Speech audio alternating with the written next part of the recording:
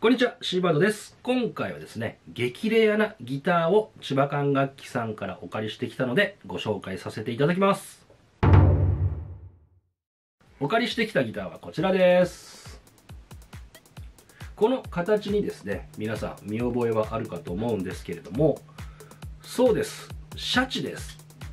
このシャチ型はですね、x ジャパンのヒデさんが使用していることで、結構認知度が高いと思うんですけれども、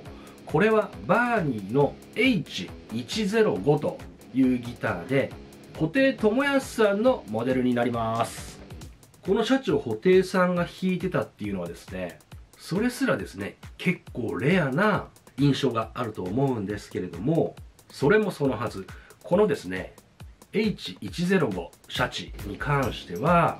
販売期間がですね、めちゃめちゃ短くて、超レアなギターなんです。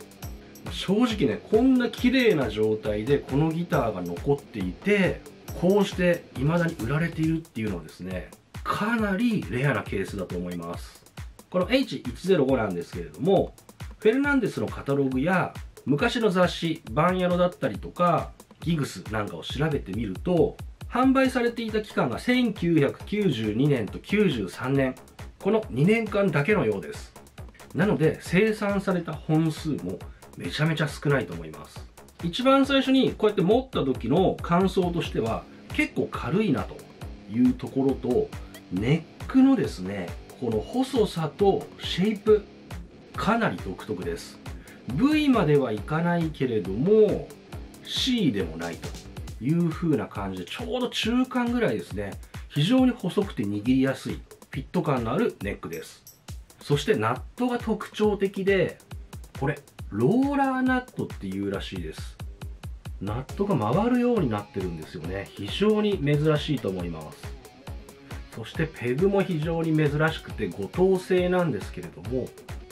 回すところがプラスチックになってるんです。